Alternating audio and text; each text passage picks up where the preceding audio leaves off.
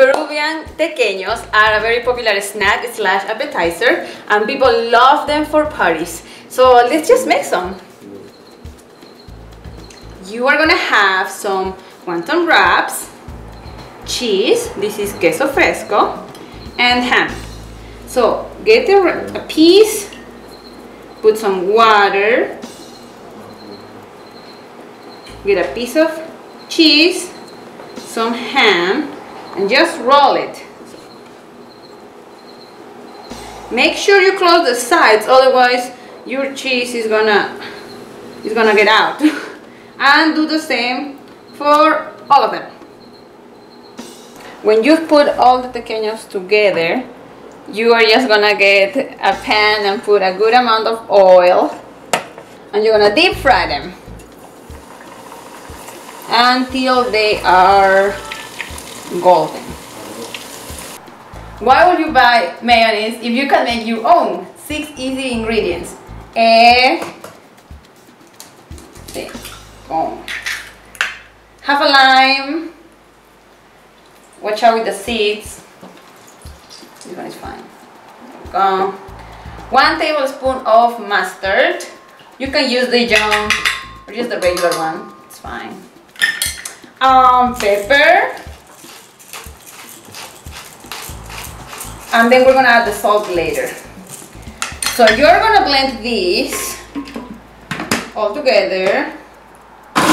And I'm gonna add some garlic. This will be like the seventh ingredient, but it's gonna taste great. Uh, this is very important. You have to add the oil very slowly, otherwise it's gonna split. So here we go.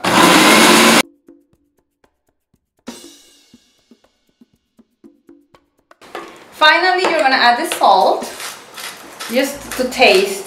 Um, let's see, that should be good. More. Now it's perfect.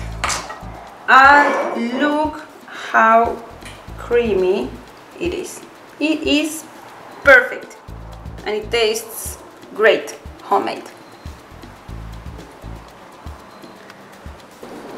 Get some of your mayo aside and then keep some in the blender. We are gonna make olive mayo. so these are Kalamata, these are my favorite. And mine.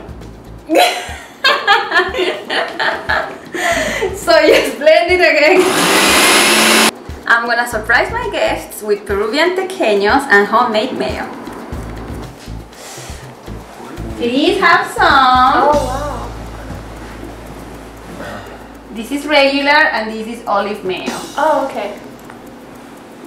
Try it.